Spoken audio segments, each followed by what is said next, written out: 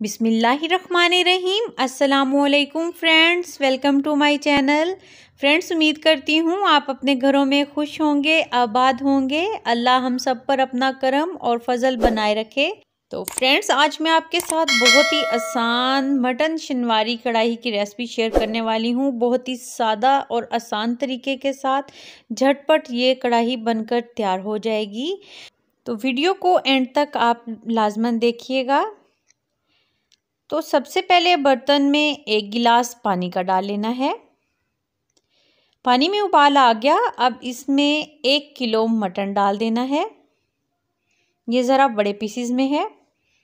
अब इसमें एक चम्मच लहसुन का पाउडर डालना है और आधा चम्मच अदरक का पाउडर डालना है। अच्छे से मिक्स कर लेना है। अगर लहसुन अदरक का पाउडर नहीं है तो लहसुन अदरक का पेस्ट शामिल कर दें। मीडियम टू लो फ्लेम पर अब इसको कवर करके पका लेना है, तकरीबन पैंतीस से चालीस मिनट। तो मटन नरम हो गया तकरीबन चालीस मिनट में ही, और अब इसमें एक बड़ा चम्मच कुकिंग ऑयल का शामिल कर देना है। फ्लेम मीडियम टू हाई कर देना है और इसको अच्छे से फ्राई कर लेना है मटन को ऑयल में। और ये देखिए, पानी भी काफ़ी हद तक खुश्क हो गया और ये अच्छे से फ्राई हो गया मटन। तो अब इसमें पाँच से छः मीडियम साइज़ के टमाटर लिए थे, इनको छील लिया था।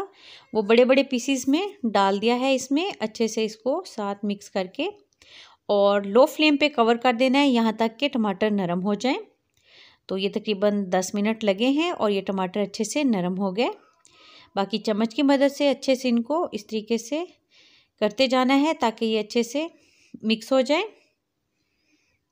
और अब अच्छे से भुनाई होगी। तो अब इसमें शामिल करने हैं कुछ मिसाले भी। जिस तरह के एक चम्मच नमक का डाला है और एक चम्मच काली मिर्च पाउडर डाला है इसमें। अच्छे से इसको पकाना है, फ्लेम हाई है इस वक्त। अब इसमें तीन से चार कटी हुई हरी मिर्चें शामिल करनी है और इसके साथ भी अच्छे से इसको भून लेना है। मिसाला अच्छे से भुन जाएगा। ये देखिए, फ्लेम हाई पर ज़बरदस्त सा मिसाला भुन रहा है।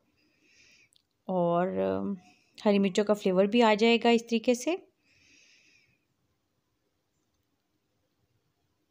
तो अब इसमें जूलियन कटी हुई अदरक शामिल कर देनी है, थोड़ा कटा हुआ धनिया, अच्छे से मिक्स कर लेना है। तो देखिए, झटपट सी, ज़बरदस्त सी शनवारी मटन कढ़ाई तैयार हो गई है। तो आप इस रेसिपी को लाजमन ट्राई कीजिएगा। मिलते हैं न्यू रेसिपी के साथ। अल्लाह हाफिज़।